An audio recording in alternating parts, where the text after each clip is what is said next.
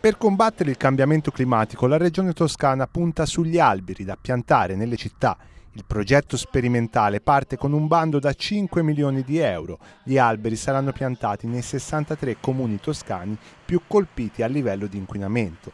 Si tratta di un progetto all'avanguardia in Italia e in Europa e prevede che gli alberi facciano da filtro e assorbano la CO2 e le sostanze inquinanti come le PM10 e il biossido di azoto. Sì, è un bando molto innovativo perché in realtà questo è un intervento che si inserisce nella strategia per il contrasto ai cambiamenti climatici che la Regione Toscana ha voluto rappresentare in questa Toscana carbon neutral al 2050, ovvero il raggiungimento appunto della neutralità rispetto alle emissioni di CO2. Tra i 63 comuni che verranno dotati di un nuovo polmone verde ci sono tutti i capoluoghi di provincia tranne Siena e località della Piana Lucchese, di quella tra Prato e Pistoia, della media valle del Cerchio e del comprensorio del Cuoio. Il neurobiologo Stefano Mancuso, assieme alla start-up dell'Università di Firenze PNAT, ha supportato la Regione nella predisposizione delle linee guida operative che aiuteranno i comuni a presentare i progetti.